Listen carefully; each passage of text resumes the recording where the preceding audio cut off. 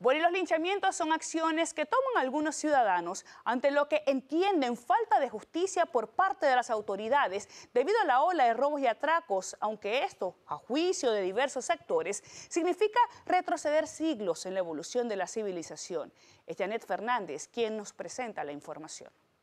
La escena de este video grabado con un celular de un supuesto ladrón atrapado por la multitud en el Café de Herrera muestra cómo sin piedad es quemado y luego varios motorizados le cruzan por encima.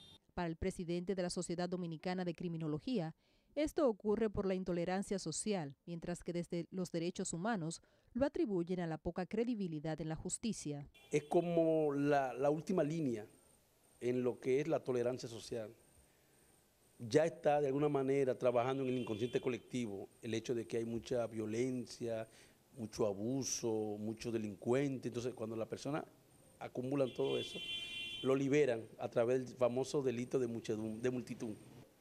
Parcializada y corrompida.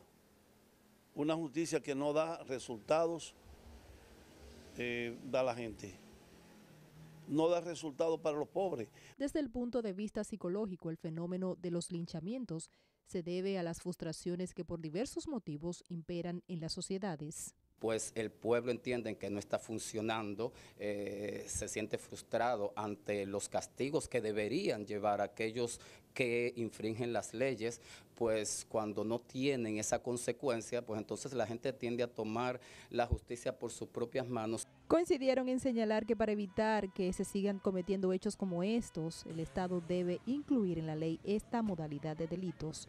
Janet Fernández, Noticias, Telemicro.